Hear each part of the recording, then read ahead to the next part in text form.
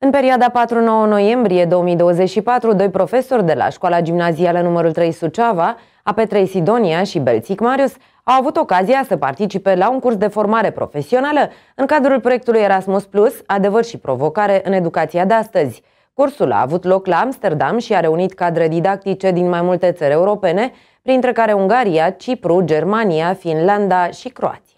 Cursul a abordat atât aspecte teoretice cât și practice. Participanții au învățat despre efectele stresului asupra sănătății fizice și mentale a profesorilor și elevilor, precum și despre tehnici de reducere a acestuia, cum ar fi mindfulness-ul și comunicarea non-violentă. De asemenea, au fost discutate strategii de nutriție în perioadele de examene, în scopul îmbunătățirii stării generale de bine a cadrelor didactice și a elevilor. Cursul a avut și o componentă practică, în cadrul căreia participanții studenții au colaborat în echipe pentru a dezvolta activități ce pot fi aplicate în cadrul școlii. În plus, a fost prezentat sistemul educațional olandez, iar discuțiile s-au axat pe compararea acestuia cu sistemele de învățământ din țările de origine ale participanților.